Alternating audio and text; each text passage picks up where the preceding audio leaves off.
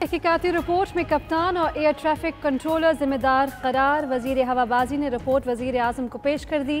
कप्तान ने लैंडिंग से 10 नॉटिकल माइल पर हिदायत नज़रअंदाज की। लैंडिंग गियर खोलना भी भूल गया। दोनों इंजन रनवे पर टकराए। पायलट ने दोबारा लैंडिंग के वक्त बताया। इंजन काम करना छोड़ गए। 92 न्यूज़ रिपोर्ट में सामने आने वाले हकाइक के मुतालिक कई रोज़ पहले ही बता चुका।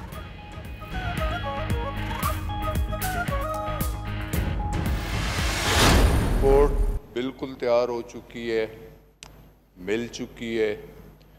आज हमने प्राइम मिनिस्टर से भी डिस्कस कर लिया है। तो उसके लिए मैं इस मौजूद ईवान को इन्फॉर्म करना चाहता हूँ कि जो कमिटमेंट थी इन ताला वो पूरी करनी है रिपोर्ट आ गई है। लेकिन और भी रिपोर्ट्स हैं इन सारों को इकट्ठा करके टेंटिवली हम बुध को इन ताला ये रिपोर्ट सबमिट कर पी आई ए के तैयारे तहकीकती रिपोर्ट बुध को कौमी असम्बली में पेश की जाएगी। वज़ीर हवाबाजी गुलाम सरवर खान का कहना है, वादा किया था, रिपोर्ट एक माह में पेश करेंगे। रिपोर्ट तैयार हो चुकी, मिल भी चुकी, वज़ीर आज़म से भी डिस्कस कर लिया।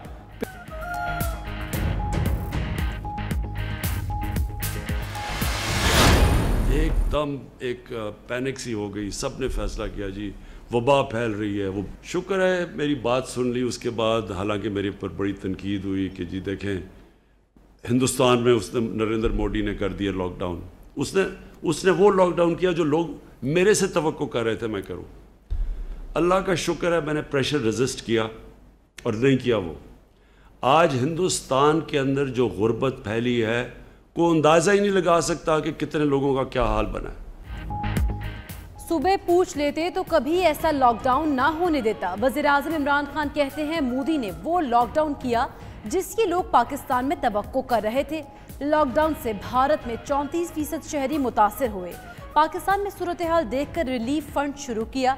एहसास क्रैश प्रोग्राम ने लोगों को रिलीफ दिया।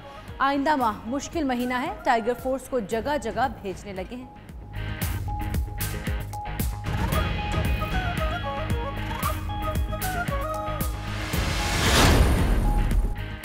वज़ीर अजम वजरा के मुतजाद बयान पर बरहम बयानबाजी से रोक दिया, कहा, मुतजाद बयान से आवाम में बेचैनी पैदा होती है।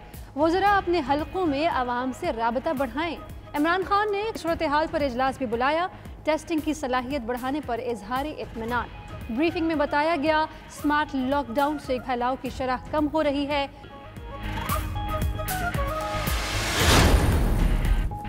कराची में लॉकडाउन की खिलाफ वर्जी पर पुलिस हरकत में आ गई। शाम सात बजे के बाद लॉकडाउन की खिलाफ वर्जी करने वालों की गिरफ्तारियों का फैसला। लाहौर के मजीद आठ इलाकों में आज रात 12 बजे से सख्त लॉकडाउन का फैसला। Gulberg, model town, defence, Gulshan Ravi Faisal town, garden town और अंदरून शहर को मुकम्मल बंद किया जाएगा। पेशावर में मजीद दो इलाकों, हयाताबाद फ़ेज़ सेवन और मंदी हसन खेल में स्मार्ट लॉकडाउन नाफिज। उधर इस्लामाबाद में भी मजीद कई इलाके सील करने का फैसला। Sector G six one two G ten four G seven two और गौरी टाउन शामिल।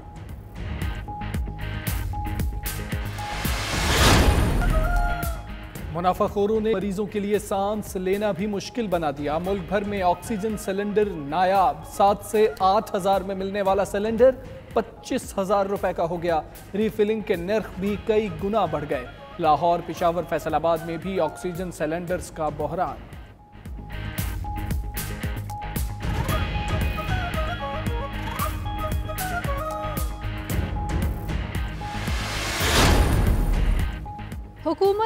अददी अक्सरियत बरकरार रखने का चैलेंज दरपेश। पहले बीएनपी को मना नहीं पाई, फिर जेडब्ल्यूपी ने भी खतरे की घंटी बजाई।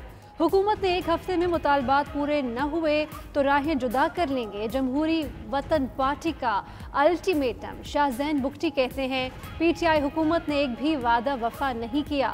उधर शाहजैन का शहबाज शरीफ को फ़ोन, मिजाज फुर्सी और सेहत याबी के लिए दुआ की। जनाब यारी, शुरू कहाँ से हुए चंदे से। वो जी, पार्टी बनानी, अस्पताल बनाना है। चंदा दो। पार्टी बनानी है। चंदा दो। जलसा करना है। चंदा दो। धरना देना है। चंदा दो। अब हुकूमत मिल गई है, चलानी है। चंदा दो। डैम बनाना है। चंदा दो। वो खुदा की कसम सारी ज़िंदगी ईदी को लोगों ने पैसे दिए, इसने उससे भी चंदा ले लिया, ऐसा जालिम आदमी है। कौमी असम्बली का इजलास अब्दुल कादिर पटेल ने हुकूमत को निशाने पर रख लिया। कहते हैं वज़ीर आज़म हर मामले में चंदा मांगने लगते हैं। दौरान इजलास, राजा रियाज अपनी हुकूमत पर ही बरस पड़े। कहा, फैसलाबाद से लेकर मुल्तान तक पेट्रोल नहीं मिल रहा। डेप्टी स्पीकर के बोलने की इजाज़त न देने पर राजा रियाज का वॉकआउट।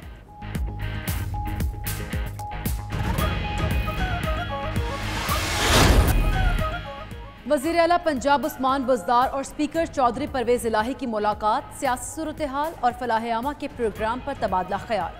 परवेज इलाही की रिलीफ बजट पेश करने पर उस्मान बजदार को मुबारकबाद। वज़ीर अला से सूबाई वजरा और अरकान असम्बली की भी मुलाकात।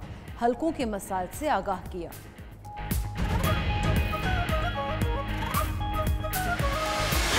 प्लाज्मा ज़िंदगी है, इकहत्तर हज़ार से जायद खुश नसीब प्लाज्मा अतिया कर सकते हैं। मेयर कराची, हैदराबाद और इस्लामाबाद के डॉक्टर्स की भी प्लाज्मा अतिया करने की अपील।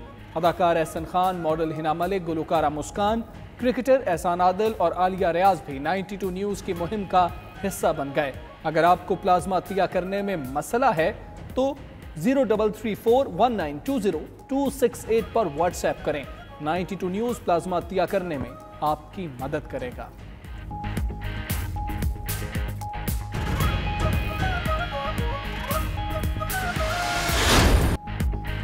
और अलविदा लॉकडाउन फ्रांस में सिनेमा घर भी खुल गए। फ्रांस में सिनेमा घरों की रौनकें तीन माह के वक्फे के बाद बहाल हुई। तफरी को तरसे शहरी फ़िल्म बीनी के लिए पहुँच गए।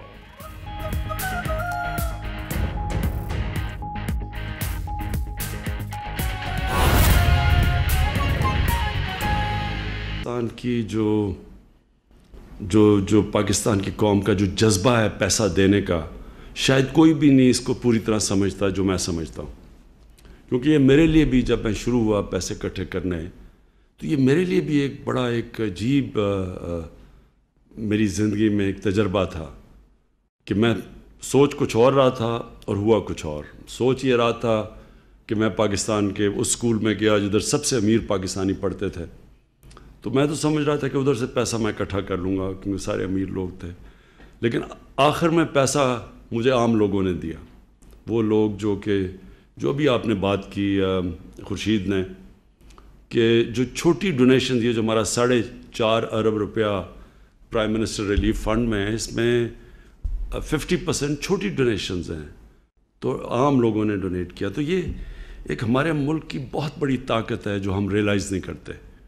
हमारे मुल्क के जो लोग हैं, उनमें बहुत बड़ा जज्बा है खैरात देने का। और ये इसलिए है कि ये अल्लाह में मानते हैं और आखिरत में मानते हैं। क्योंकि मुझे शुरू में नहीं समझ थी कि मैं सोचता था, पैसे वाले लोग तो पैसे नहीं दे रहे।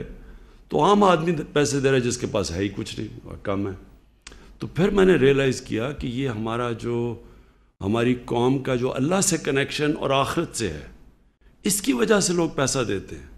तो जो मुझे सबसे ज़्यादा पैसा, और मैं तीस साल में किसी ने इतना पैसा पाकिस्तान में इकट्ठा नहीं किया जो मैंने किया।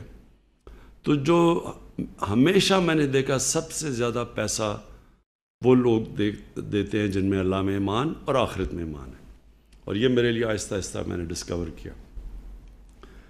जब पाकिस्तानी कौम का कभी भी कोई चैलेंज आया, एक तो मैंने जब लोगों के पास किया कि कोई कैंसर हॉस्पिटल ही हमारे मुल्क में कैंसर का मरीज़ इतना महँगा इलाज अफोर्ड कर ही नहीं सकता आम आदमी।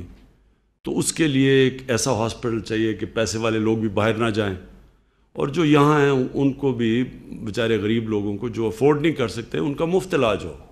बड़ा चैलेंज था। ये कहीं भी दुनिया के अंदर ये एक्सपेरिमेंट कामयाब नहीं हो, जो जो शौकत खानम है लोग रियलाइज़ नहीं करते कि ये एक मुआवजा है कि कैंसर हॉस्पिटल जिधर सबसे महँगा इलाज है, वहाँ पचहत्तर फ़ीसद मरीज़ों का मुफ़्त हर साल इलाज होता है। और वो इलाज होता है जो कि डेवलप्ड मुल्कों के कैंसर हॉस्पिटल्स वो अफोर्ड नहीं कर सकते कि 75 परसेंट मरीज़ों का मुफ़्त कैंसर का इलाज करें। तो वो इसलिए होता है कि इन्हीं लोगों ने कैंसर हॉस्पिटल बनाया, पाकिस्तानियों ने, और यही लोग उसको चला रहे हैं। और जो हॉस्पिटल सत्तर करोड़ रुपए में बना था, आज उसका खसारा पचहत्तर फ़ीसद कैंसर के मरीज़ों का मुफ़्त इलाज करने में जो उसका खसारा है, सालाना, वो बारह अरब रुपया है।